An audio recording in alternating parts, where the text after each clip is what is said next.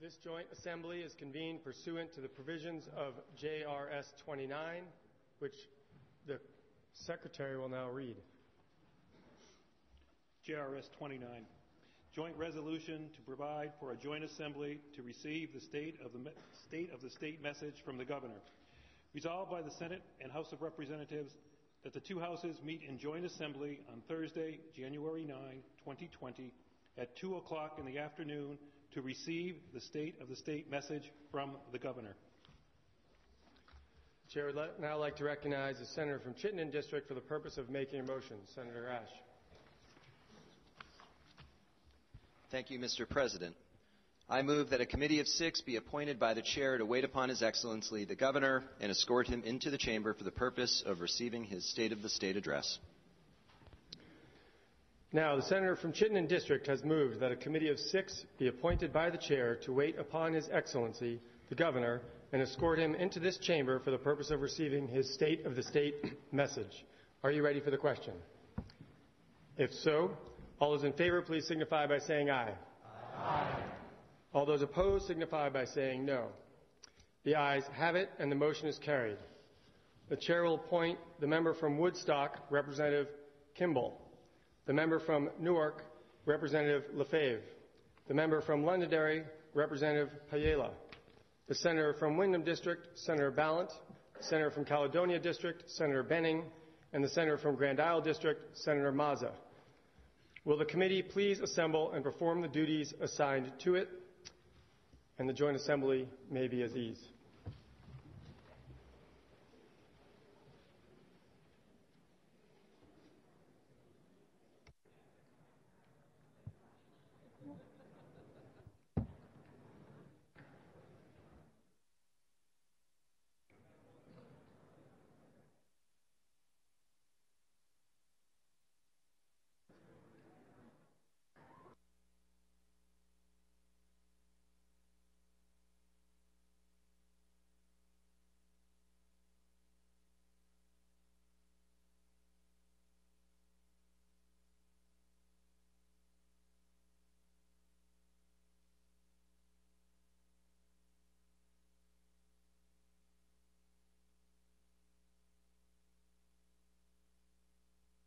Welcome to VPR's legislative stream from the Vermont State House. I'm Bob Kinzel. Audio from the Vermont House is available when the House is in session. When there's no activity in the chamber, the stream is silent. Thank you for listening to VPR and find more news about the Vermont legislature at vpr.net.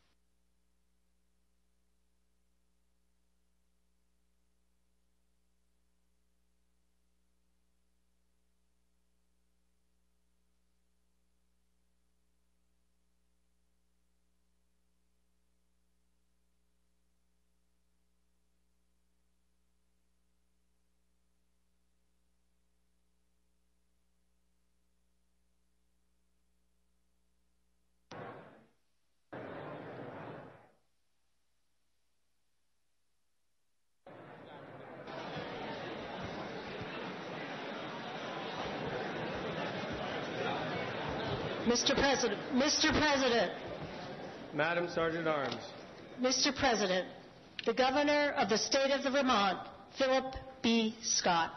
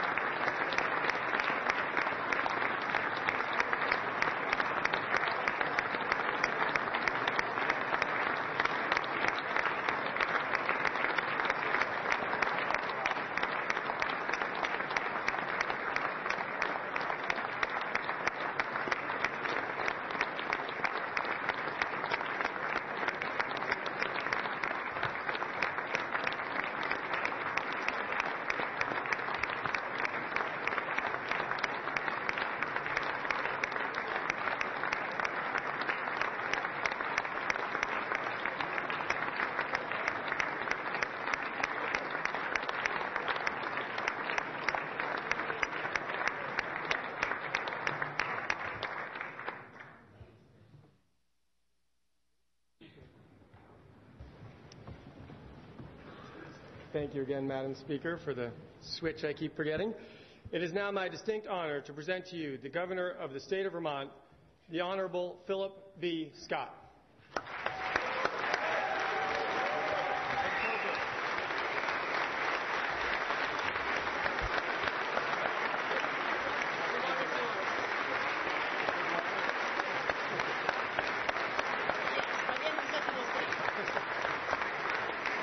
Thank you.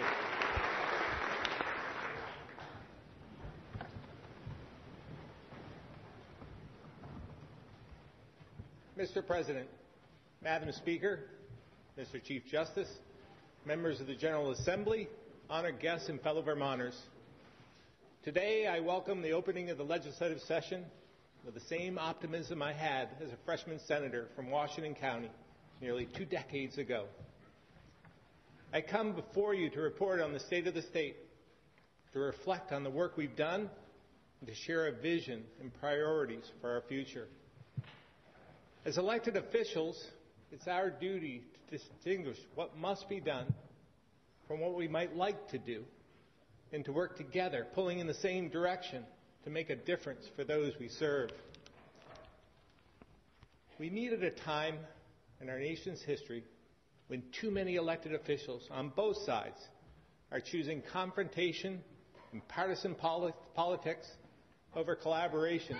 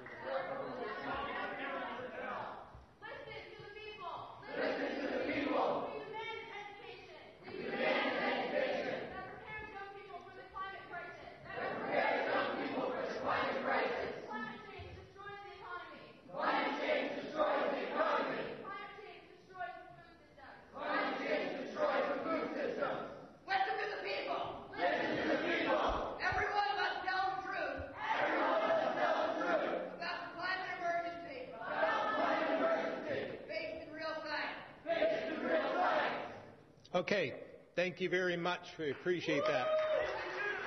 We just did. Thank you very much. Thank you very much. And now it's time for you to listen to us. We got it.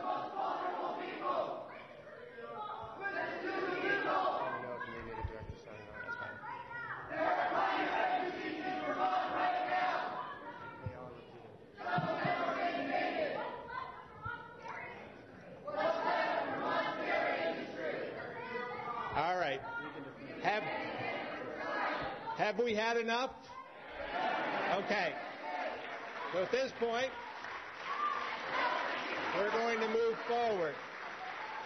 If you would like to listen to us and listen to my speech, you're welcome to stay.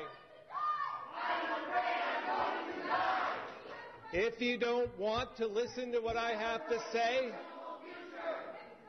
you can be removed.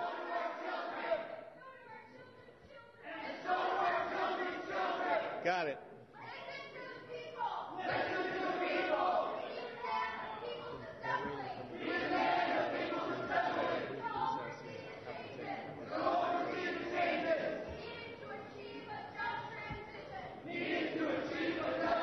Okay, I think we've had enough. Nope. Chamber will please come to order.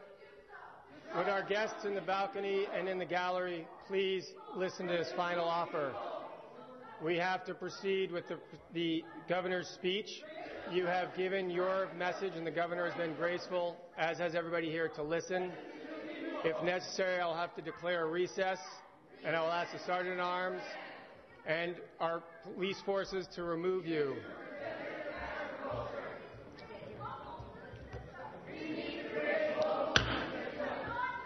The General Assembly will now be in recess till the fall of the gavel.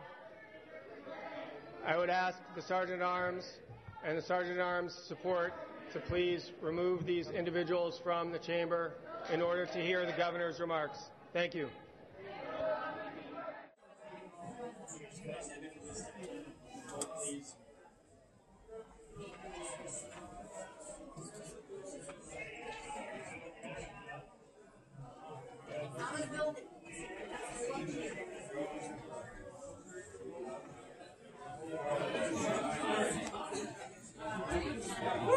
It's a climate emergency! Climate emergency! Go to jail. Okay? Good. Go hide. You're, you're in your room.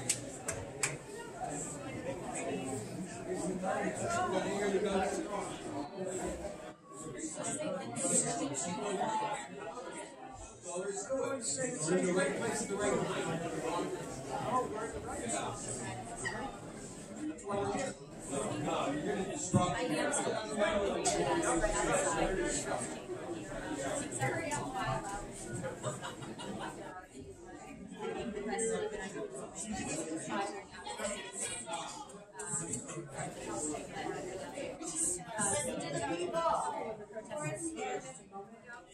It's a climate emergency! They are, yes, demanding climate change and releasing the truth uh, that's out there on climate change. And also say that a lot of the eyes on the poster you see here are because the world is watching on climate change. That's of the message that we're outside of the House chamber right now. I did ask you to in your Extinction Rebellion and the message is they want to see the climate change.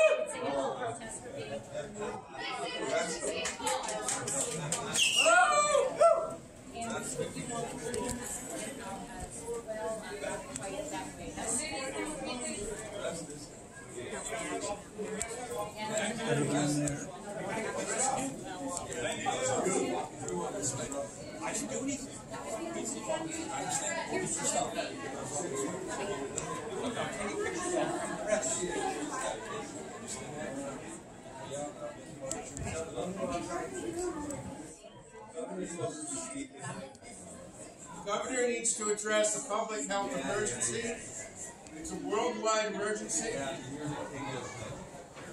We can see the consequences and the symptoms of not dealing with this emergency.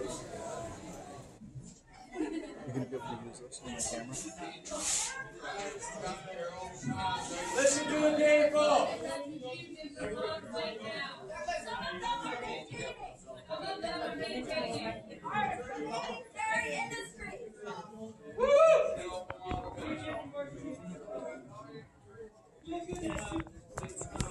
Hey, Rod, all right! Thank you. Thank you. Come on now. Woo. The world is watching Governor Scott. Everybody bows.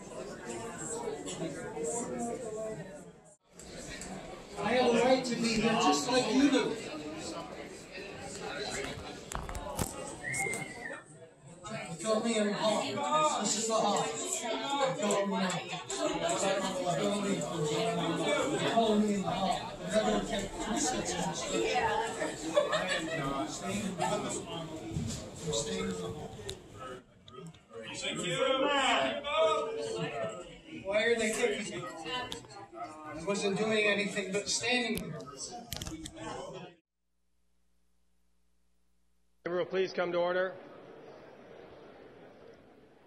Chamber will please come to order.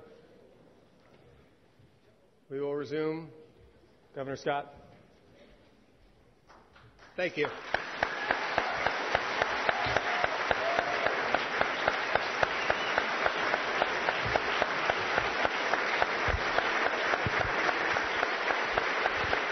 Thank you very much.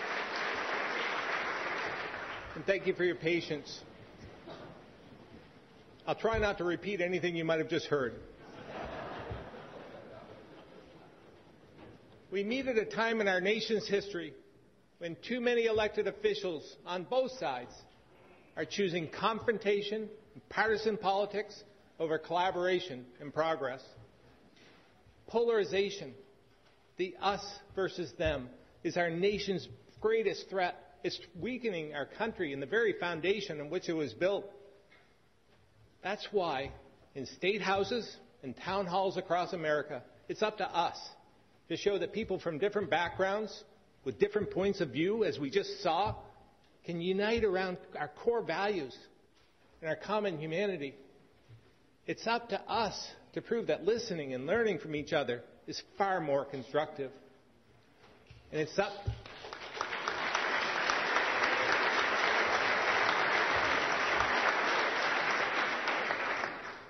And it's up to us to seek consensus where it can be found and compromise where it cannot. Now, we all know there will be times when we have to agree to disagree, and that's okay. But when it happens, let's assume the best of each other and turn our energy to the areas where a path forward remains. This, my fellow Vermonters, is how we rise above the partisanship, how we reject polarization, how we work towards something bigger than ourselves, and how we, all of us in this room, can best lead our nation forward.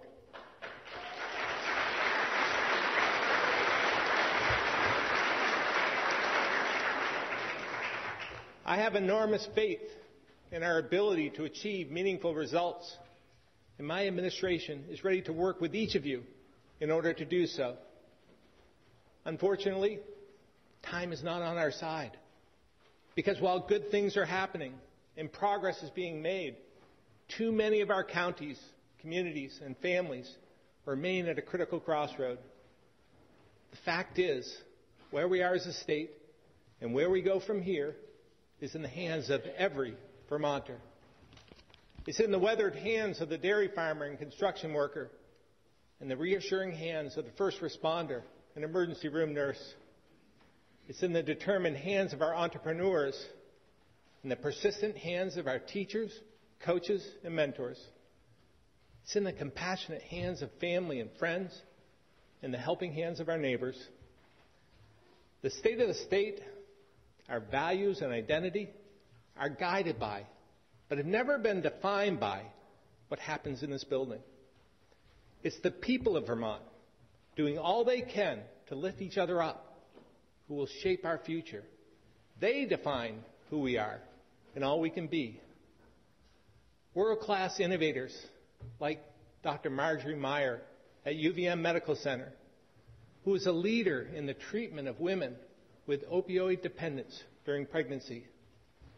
Entrepreneurs like Kyle Clark, whose company, Beta Technologies, is building electric aircraft, which will lead to a significant reduction in global carbon emissions. Or the volunteer firefighters in Ludlow, who spent their Thanksgiving Day cooking dinner for a mother and her three children whose stove caught fire that morning. And Gloria Powers from Glover, who provided a home for nearly 400 foster children over 25 years. And at age 72, is still giving back, volunteering at the local senior center. And young Justin Sears from Colchester, who wanted to do something nice for the kids at his school this holiday season and raised over $1,000 to buy his classmates lunch. Then there's Cecilia Hunt from Fairhaven, who for nearly 40 years donated so much of her time to everything from blood drives to food banks and town committees. She's made such an impact that her community reached out to let me know how much she means to them. And by the way, when my staff called her to invite her here, she wouldn't accept credit for 40 years. She said, It's only been 36. Friends, Cecilia and Dr. Meyer, Gloria and Justin, and members of the Ludlow Fire Department and Beta Technologies are here with us today.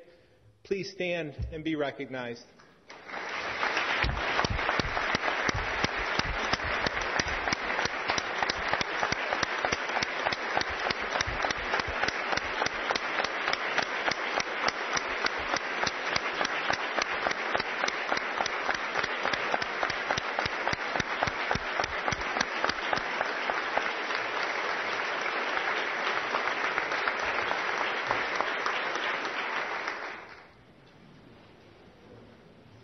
These people and thousands more, those we hear about and those we don't, remind us that we are all part of something bigger and that it's in our pursuit of purpose and in service to others that we find the best of ourselves, our communities, our state, and our nation.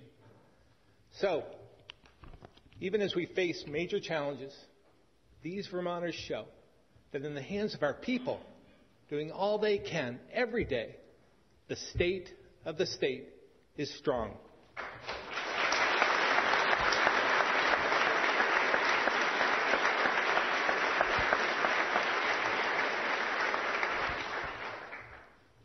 Inside this building, our job as public servants is to do all we can to ease their burden and build on their strength by setting clear priorities and turning good ideas into results. And here's my biggest concern. Today in Vermont, there are about 55,000 fewer people under the age of 45 and 44,000 more over the age of 65 than there were in the year 2000. For years, we had more deaths than births and have seen more people move out of Vermont than in. And the impact is not the same in every community. We have to acknowledge the real and growing economic disparity from region to region. Think about this. Of the five towns that have seen the most growth in recent years, four of them are in Chittenden County. And in the past 12 years, only three counties have added workers.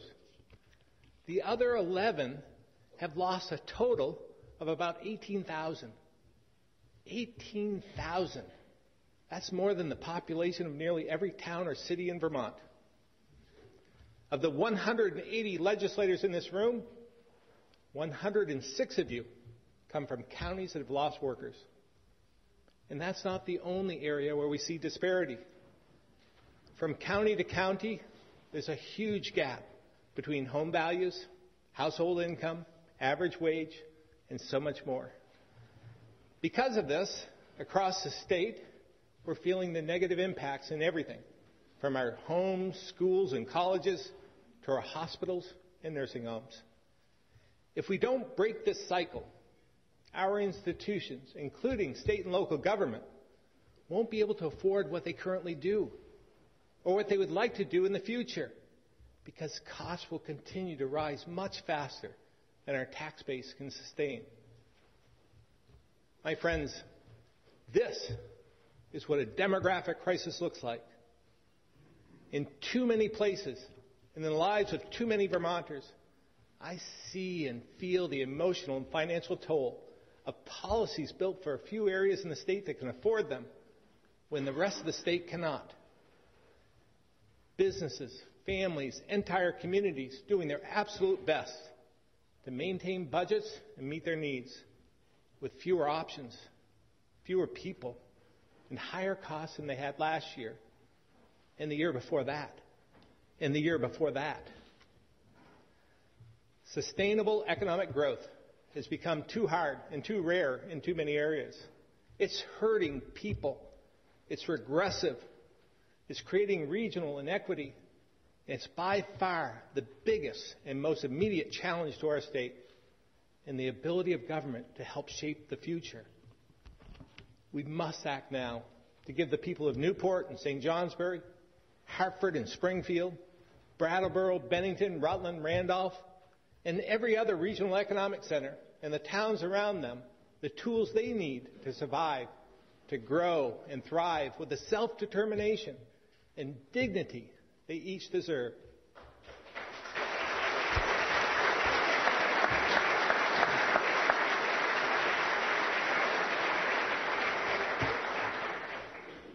If we're willing to focus on doing the work, on caring more about the details than we do the talking points, if we can build consensus and trust and avoid national political agendas deliberately designed to divide us, if we focus on the fundamentals, a better, more modern government, a stronger fiscal foundation, and policy that's truly equitable, then our businesses and economy will grow. Putting more kids in our schools and broadening our tax base, making our communities stronger and more resilient than ever before. That's why I had an open mind when Senator Sirotkin and the Senate Economic Development Committee had an idea that's paid off. They said remote workers can work from anywhere, so let's give them an incentive to work and live here in Vermont. Since then, we've received worldwide attention. More than $7 million in free advertising, thousands of inquiries, and relocated 371 people to more than 68 communities across 13 counties. Now, we've received our share of criticism as well. Folks who said, you know, I've been living here and dealing with high costs my entire life. Where's my check? I get it. They're absolutely right. We urgently need to make Vermont more affordable for everyone across the state. But this pro- program does help them because bringing more people here reduces the tax burden on the rest of us. Here are the facts. For a one time investment of $500,000, based on Vermont's average household income of about $75,000, we project a return on this investment of over $1 million of tax revenue each year. And this is a conservative projection because it doesn't account for the higher than average income of these new Vermonters and the added benefit that comes along with more people buying goods and services from local businesses. We know this isn't the only answer, but this program is a small step towards growing our way out of the demographic crisis facing our state and the affordability crisis facing our families. And this isn't all we're doing. At the same time, we're strengthening training, internship, and apprenticeship programs for Vermonters. We established a first in the nation approach to make it easier for veterans to transition to civilian careers. And we're helping those in recovery or with other barriers to employment find and keep good jobs. This year, in partnership with Secretary Condos, let's further reduce hurdles and cost for licensed professionals so we can bring more of them into the workforce. And my budget will include additional investments in training with an emphasis on the trades and more incentives for young adults and working age families to stay or move here.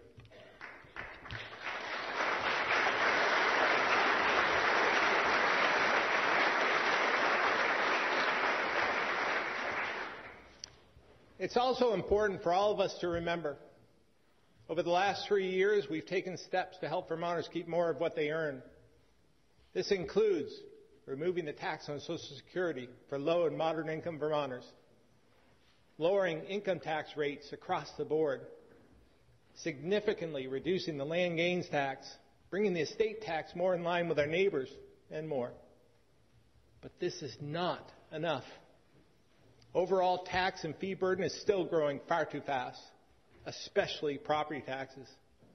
And you can expect additional targeted tax relief in my budget. Because ultimately, we need to help people in all parts of the state move up the economic ladder. And the best way to do this is to level the economic playing field and make Vermont more affordable for all families and every business.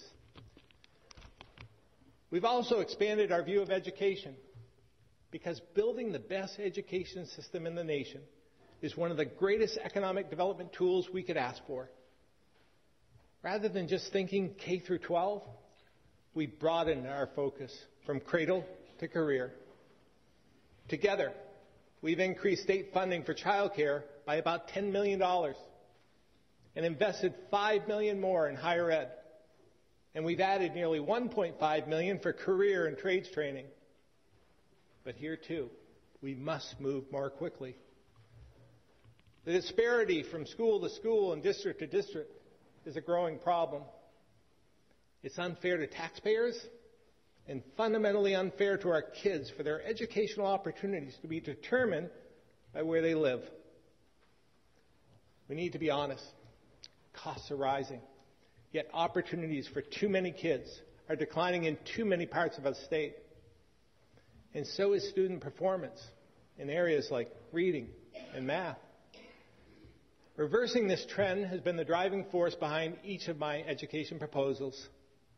And this year, my budget will once again increase investment in the cradle to career continuum. We'll also support the work of the Agency of Education to improve performance. And if you're ready, I'm still willing to have a discussion on how to direct more of our current spending to our kids instead of letting it be consumed by the growing inefficiency of an outdated system. In addition, I propose to you today that we begin creating a universal after school network that ensures every child has access to enrichment opportunities outside of current classroom time and to align the student's day with the length of the workday. A few thoughts on this. First, it's based on a successful model from Iceland focused on preventing drug use as well as improving academic and social outcomes. And the evidence is clear. Kids who participate in after school activities and programs do better in school and in life than kids who don't. Second, a universal program expands choices for every kid. It doesn't limit them, and it would be voluntary. Those who currently go home to their families or participate in drama, music, sports, debate, or older kids who choose to work could all continue to do so. Third, it supports working parents by reducing the logistical and financial burden of after school care. Finally, we're not recreating the wheel, but we are creating more equity. Many schools already have after school options through organizations like the YMCA and others, but it's far from universal. There are a lot of details to consider on an issue like this, and I fully recognize that as we put the many challenges of Act 46 behind us, one size will not fit all. That's why I've asked Education Committee chairs, Representative Webb, Senator Baruth, to give this idea some genuine consideration. It's my hope we can deliver this uh, plan by the end of the year that puts us on a path toward universal after school programs without raising property tax rates.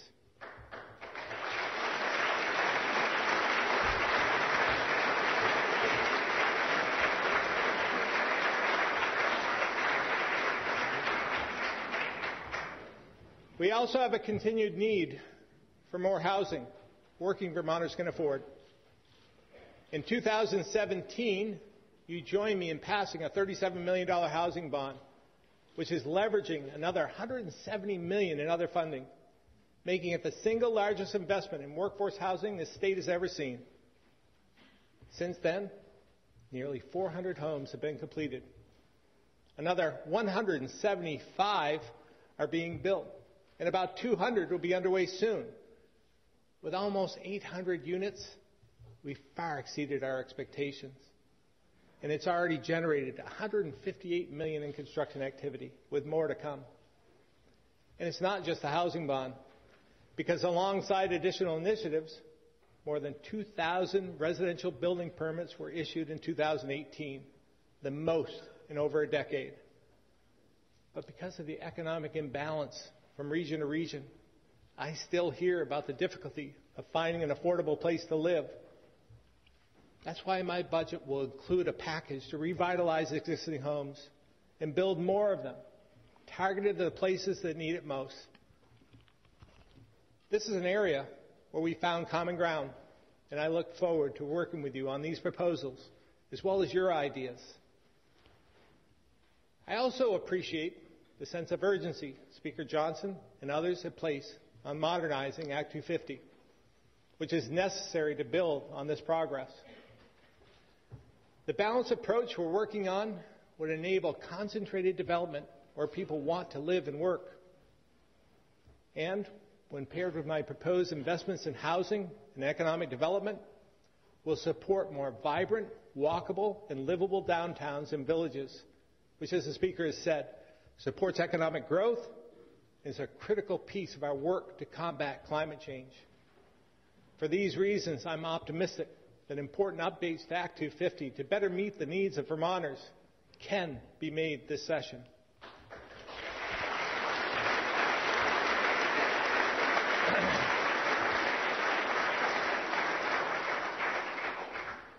We know about half of the emissions that contribute to climate change come from transportation.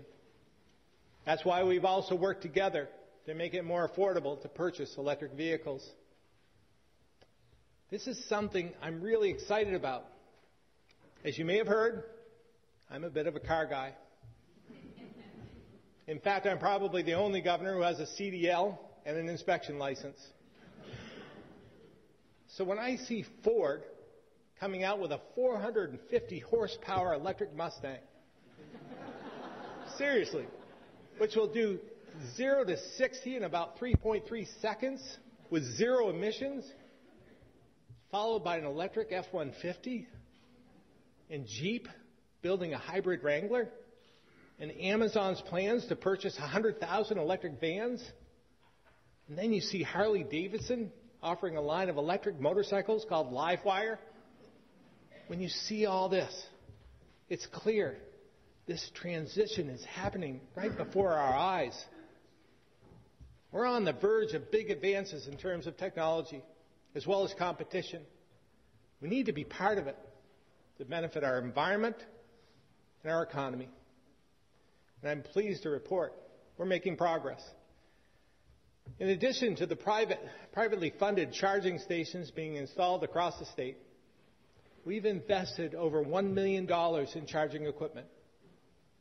And with investments through the Volkswagen settlement, we expect to nearly triple the number of state funded charging stations by the end of 2020. And to make, make EVs even more affordable for low and moderate income Vermonters, we provided $1 million in purchasing incentives. Utilities Auto dealers, many employers, municipalities, and individuals have all stepped up alongside state government. As a result, we've seen a 160% increase in the number of EVs on our roads since 2016. But we know this is not enough. So we're not stopping here. As part of the all fuels efficiency conversation before the Public Utilities Commission, we're asking that a portion of energy efficiency charges be directed to transportation electrification.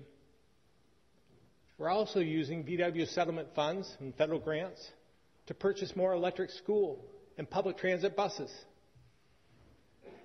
As we look even further ahead, I strongly believe it's incentives, not penalties, which will help us transition more quickly.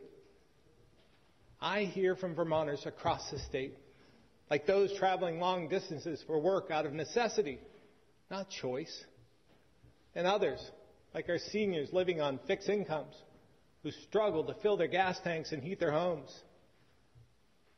I simply cannot support proposals that will make things more expensive for them. Instead, my budget will propose more incentives and a greater focus on affordable clean energy, as well as expanding our battery and renewable energy storage sectors and the jobs they can create.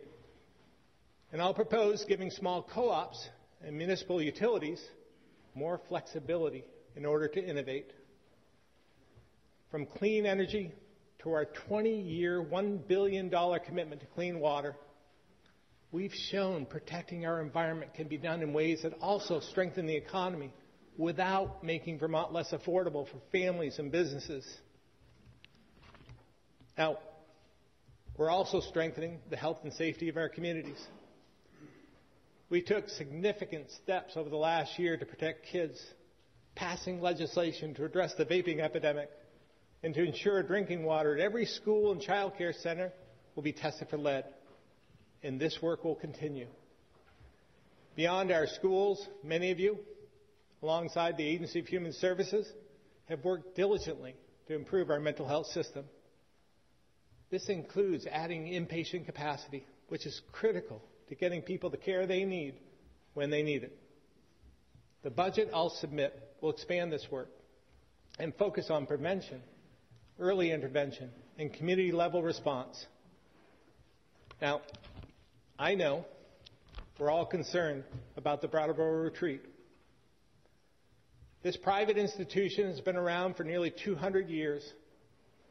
It employs about 700 people making it one of the region's most important employers since Vermont Yankee was closed. But age and size don't make it immune to the same demographic challenges others around the state are facing.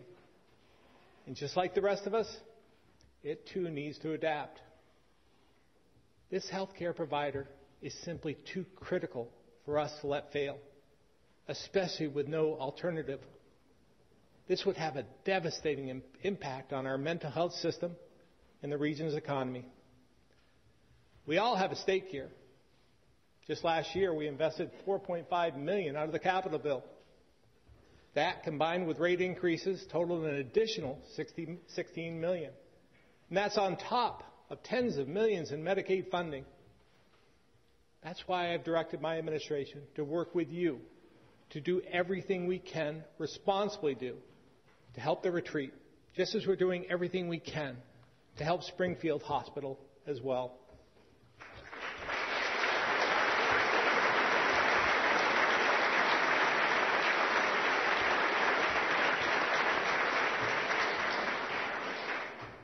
I'll also propose a package of criminal justice reforms that we've shared with members of the committees of jurisdiction.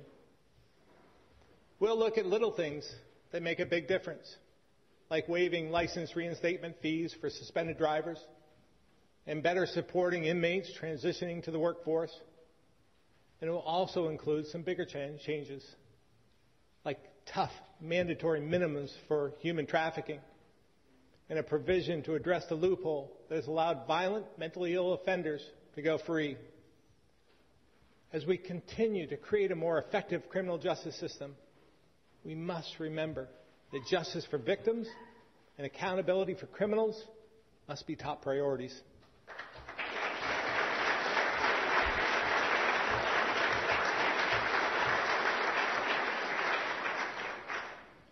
I'm grateful for this opportunity to address our biggest challenges, report on some of our progress, and outline a few of my proposals. There's always much more happening than can be covered in one speech or even two. And I look forward to all of our discussions in the days and weeks ahead. Over the next few months, the way we go about our work will not only determine the results we're able to deliver, but also the strength of our institutions, the faith Vermonters have in us, in the example we set for our kids. We must acknowledge the trying times we live in, the pressure from political parties and special interest groups to fall in line, stay on message, weighs heavily on some. Honest efforts and thoughtful ideas from good people are too often mischaracterized, misrepresented, and belittled. And all of this is intended to divide us and bully us into an us versus them mentality. In this environment, the solutions to serious problems in our state and in our country don't always come fast enough. And to those of us who care more about progress than we do about political power, that can be very frustrating, even discouraging. So when those moments come, I think of the people who inspire me to be part of something bigger, of what they've endured with courage and resolve, and how they show that in the face of incredible adversity, we're all capable of great things. People like my dad, I think of what he went through during his two years at Walter Reed and how hard he worked every day just to live as normal a life as he could, how much he accomplished, and how much I admire him. I think about the soldiers with him in France after D Day, all they went through, how long and horrific those days must have been, and how that generation of Americans stepped up to protect democracy for their generation and those of us who followed. Recently, I thought a lot about Travis Roy, who I heard speak last month. His talent was recognized at a young age. Hockey was his life. He was destined for the NHL. 24 years ago, he played exactly 11 seconds for Boston University before going headfirst into the boards, and then instantly found himself unable to move from the neck down. Travis has spent every moment since ensuring those 11 seconds to find an opportunity, not a tragedy. As a result, he's changed the way his sport is taught. Through his efforts at places like Little Fenway in Essex, he's raised millions for spinal cord research and adaptive equipment. He's shared his story and found his purpose in helping others find theirs. Travis says, there are times when we choose our challenges, and other times when our challenges simply choose us. It's what we do in the face of those challenges that define who we are. Don and Greg Tatro from Lamoille County didn't choose their challenge this past year when they lost their daughter Jenna to a fatal overdose. She was only 26. But through their tremendous loss and the haze of unthinkable grief, they get up every day to help others overcome this deadly disease. They are leading a multi county effort through their organization, Jenna's Promise. They've created Jenna's House, a community hub for treatment. They purchased a cafe to employ those in recovery. They're providing financial assistance for housing, transportation, and so much more. They found purpose from loss, helping others to heal. Friends, the Tatro family is here with us today. And World War II veterans from my dad's post in our hometown of Barre, Dr. Joe Aja, Robert Campo, and George Sherlock, as well as Vermont World War II POWs, Clyde Cassidy and Richard Hamilton. Please join me in recognizing and thanking them.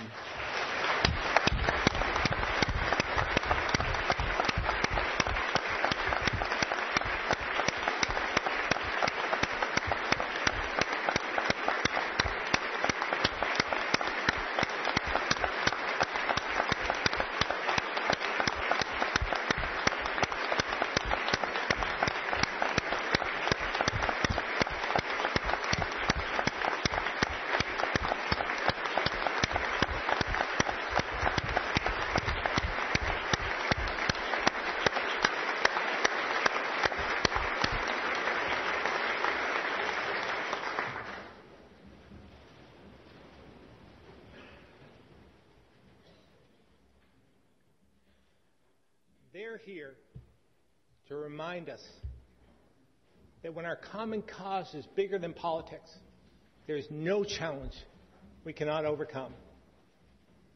When I think of these people and others like them, I'm just as motivated, just as eager to solve problems and help people as that hopeful freshman senator from Washington County all those years back.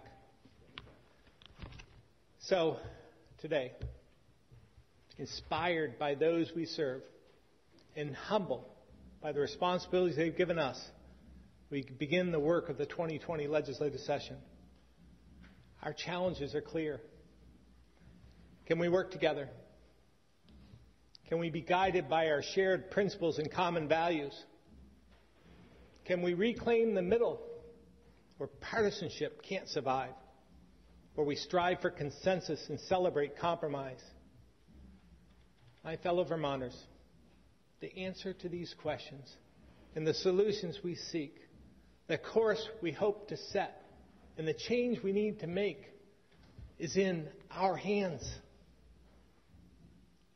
If our sense of service and duty is strong, if our commitment to our neighbors is unwavering, and if we remember that we are all part of something bigger than ourselves, then the state of the state, our future, and our people will be stronger than ever before.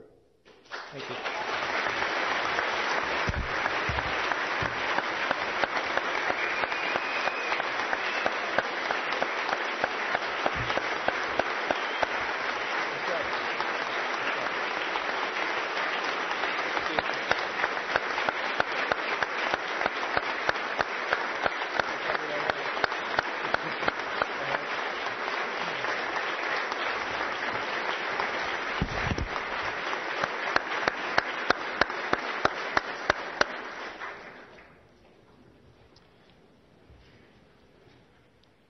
Will the committee please reassemble and escort the governor from the chamber?